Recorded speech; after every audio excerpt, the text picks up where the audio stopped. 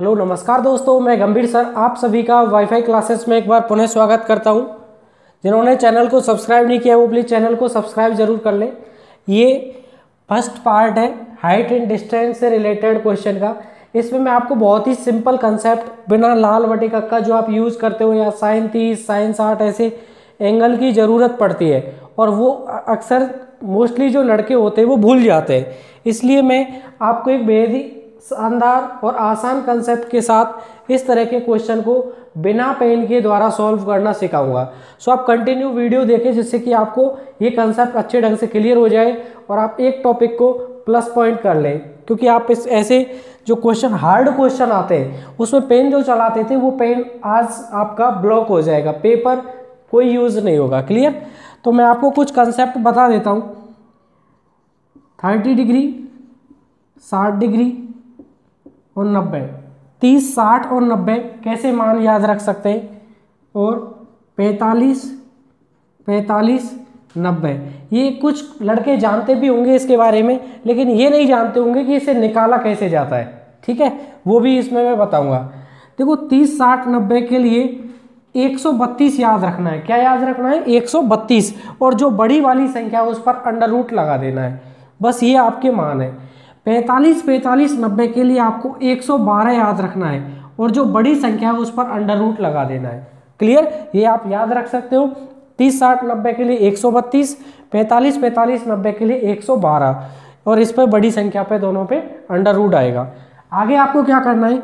देखो, आप जब मान याद रखते थे, साइन तीस तो ऐसे ज़ीरो, तीस, पैंतालीस, साठ और नब्बे याद रखते थे, ठीक है?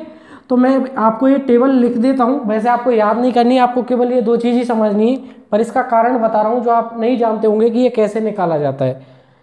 इसका मान एक बटे दो होता है, इसका एक बटे अंडर रूट दो होता है, इसका अंडर रूट तीन बटे दो होता है, और इसका एक होता है।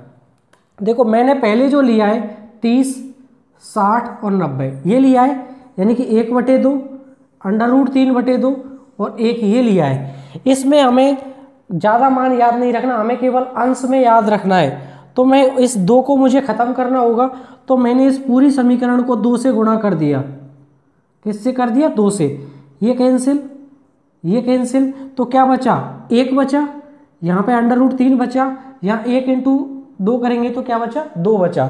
इस तरह से हमने निकाल लिया, इसका मान क्या होता है? एक अंडर रूट तीन, दो होता है। अब इसको कैसे निकाला जाएगा? पैंतालीस पैंतालीस, नब्बे का। तो देखो, पैंतालीस का एक बटे अंडर रूट दो होता है। कितना होता है? एक बटे अंडर रूट दो। उधर वाला सिखा रहा हूँ कि उसको कैसे निकाल सकते हैं। पैंतालीस का होता है एक बटे अंडर रूट दो और नब्बे का होता है एक। हमें अंडर रूट दो खत्म करना है तो हमने किसका मल्टीप्लाई कर दिया? अंडर रूट दो का। यहाँ भी अंडर रूट दो का। इससे ये कट जाएगा तो पैंतालीस का मान एक, इस पैंतालीस का भी एक, और इसमें एक गुणा अंडर रूट दो करेंगे तो कितना होगा? अंडर रूट दो होगा।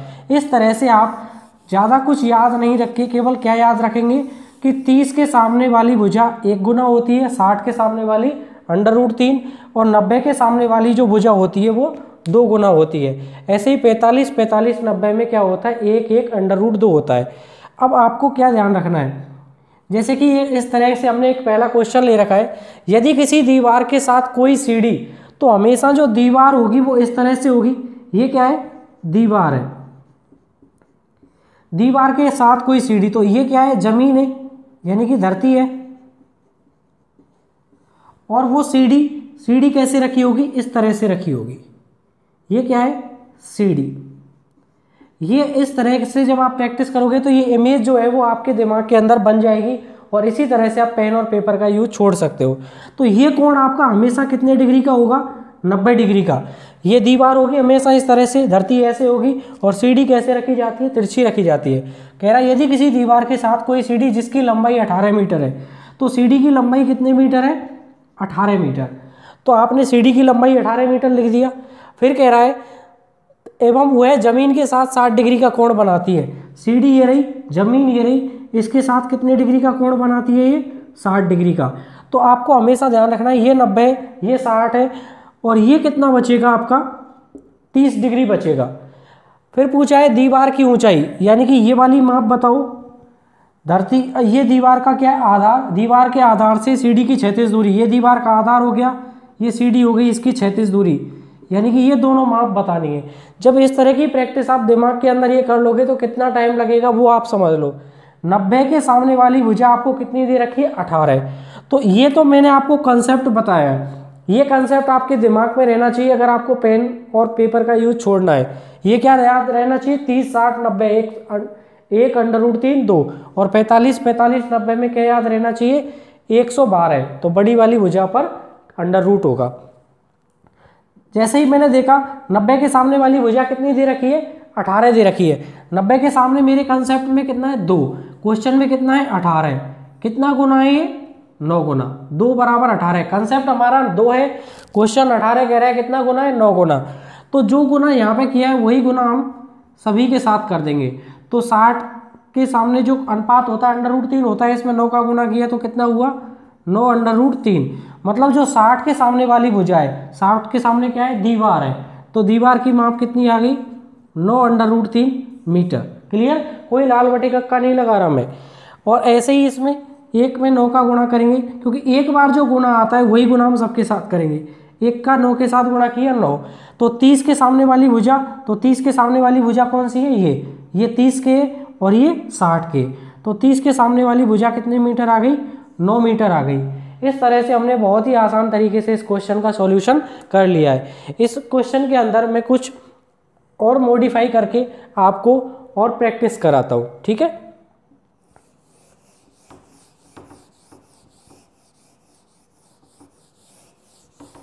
अगर आपको ये क्वेश्चन कुछ चेंज कर देता है और यहाँ पे क्वेश्चन 60 डिग्री एंगल ना दे करके 45 डिग्री का कोण देता है, कितने डिग्री का? 45 और जो दीवार सीढ़ी की लंबाई है, वो आपको दे दी 24 अंडर रूट दो मीटर। इस तरह से दे दिया। कैसे बनाएँगे? ये दीवार हो गई इस तरह से। ये सीढ़ी हो गई और ये क्या हो गया? ज़मीन हो गई। ये क्या हो गई? दीवार। ये क्या हो गई? सीढ़ी। और ये क्या हो गई? ज़मीन। ये कोण हमेशा कितने डिग्री का रहेगा? नब्बे। अब क्या कह रहा है? वो दीवार जो सीढ़ी की लंबाई है वो चौबीस अंडर रूट दो है। इसका मतलब ये वाली माप कितनी है? चौबीस अंडर रूट दो मीटर। फिर कह रहा है, जो ज़मीन के साथ ये कितने डिग्री का कोण बना रही है सीढ़ी? पैंतालीस। ये सीढ़ी हो गई, ये ज़मीन कितने डिग्री का कोण? पैंतालीस डिग्री का कोण। तो ये कोण भी कितना होगा? पैंतालीस। आपको क्या देखना है कि हमें ब्रेन यूज़ करना है कि ये कोण के किस कोण के सामने है। जो सीढ़ी की लंबाई, सीढ़ी हमेशा ऐसे होगी।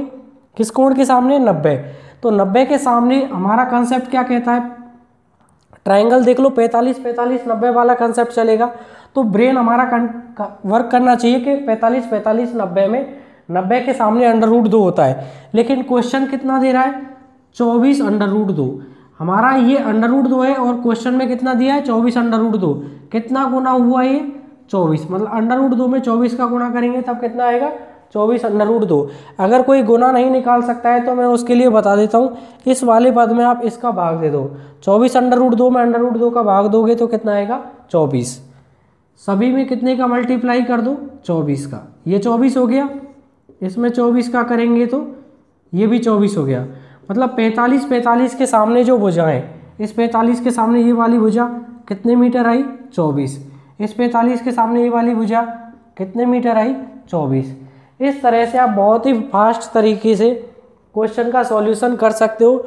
और मैंने यहाँ पर किसी भी क्वेश्चन के अंदर अभी दो क्वेश्चन कराए किसी में भी लाल बटे कक्का का यूज़ नहीं किया है।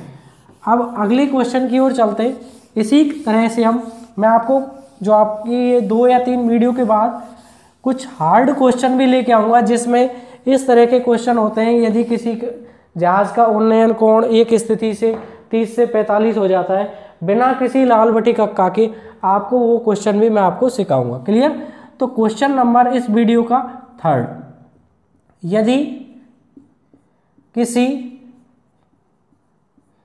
पुल को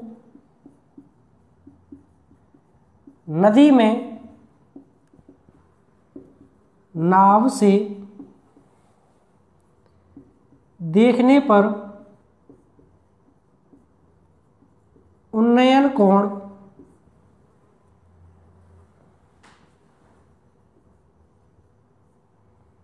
साठ डिग्री बनता है। उन्नयन कोण कितने डिग्री बनता है? साठ डिग्री। अब आ, आगे आपको क्या है? यदि पुल से नाव की क्षैतिज दूरी। बारह सौ मीटर है। तब नदी से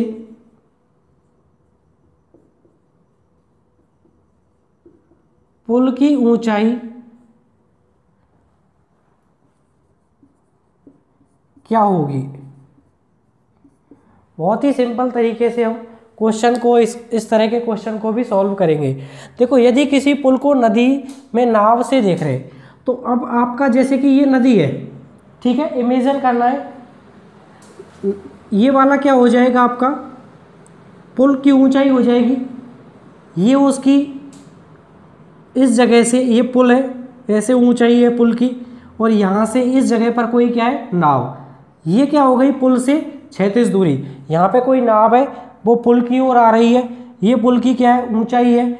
अब देखो, यदि किसी पुल को नदी में नाव से देखने पर उन्नयन कोण साठ डिग्री बनता है, नाव में यहाँ से देखेंगे, उन्नयन कोण, उन्नयन का मतलब होता है उत प्लस नयन, यानी कि हमने जो गर्दन है वो कितनी ऊपर की है तो कितना ऊपर किया है? साठ डिग्री।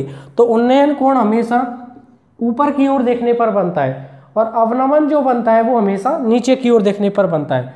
कितने डिग्री है? साठ डिग्री। फिर कह रहा है, यदि पुल से नाव की क्षैतिज दूरी, ये पुल पुल मतलब ऐसे यहाँ पे, लेकिन इससे और इस जगह तक, नाव की जो क्षैतिज दूरी है, वो 1200 मीटर है। कितने मीटर है? 1200 मीटर। तब नदी से, यानी ये नदी है, इससे पुल की ऊंचाई क्या होगी? ये वाली चीज़ आपसे पूछी है ये कोण हमेशा कितने डिग्री का होगा? नब्बे। ये कितने का होता है? तीस। कौन सा पैटर्न लगेगा हमारा इसमें? तीस, साठ नब्बे का। और तीस साठ नब्बे में बताया था एक सौ बत्तीस और बड़ी संख्या पर अंडर रूट अब आपको देखना है कि जो वैल्यू दे रखी है, वो किस कोण के सामने दे रखी है।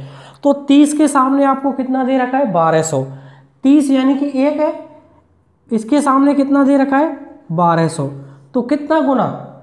देखो, तीस के सामने वाली भुजा बारह सौ दे रखी है आपको तो एक बराबर बारह सौ तो कितना गुना है ये? बारह सौ गुना है। सभी में 1200 का गुना करेंगे। अंडर रूट तीन में 1200 का गुना किया, कितना आया? 1200 अंडर रूट तीन। दो में 1200 का गुना किया, कितना आया? 2400 इस तरह से आपने 90 के सामने वाली भुजा, यानी कि ये वाली भुजा कितनी आ गई? 2400 मीटर आ गई। 60 के सामने वाली भुजा, यानी कि इसके सामने वाली भुजा कितनी आ गई? 1200 अंडर रूट तीन आ गई। आपका क्वेश्चन क्या था? नदी से पुल की ऊंचाई। तो नदी से जो पुल की ऊंचाई है, वो कितनी है? बारह सौ अंडर रूट तीन। अगर पूछ लेता कि यहाँ से और इस पुल की जो तिरक ऊंचाई है, वो कितनी है? तब आएगा आपका आंसर 2400 मीटर। इस तरह से आपने बहुत ही आसान तरीके से इस वीडियो के अंदर क्वेश्चन करने का सिंपल मेथड समझा है इसके आगे आपको कुछ वीडियो जो भी आएँगी, दो या तीन सिंपल कंसेप्ट से हम किस तरह से उन्नयन अवनयन वाले क्वेश्चन को सॉल्व कर सकते हैं? उसके बाद दो या तीन वीडियो आएँगी, जिनमें हम उन्नयन कोण या अवनमन कोण जो है वो स्थिति के अनुसार चेंज होता जा रहा है। सो आप कंटिन्यू वीडियो देखिए, पहले इस कंसेप्ट को समझें, जिससे कि मैं आपको पाँच या छः वीडियो के अंदर इस तरह के सभी क्वेश्चन को सॉल्व करने का आसान तरीका आपके लिए दिमाग में सेट कर सकूँ। So thank you for watching my video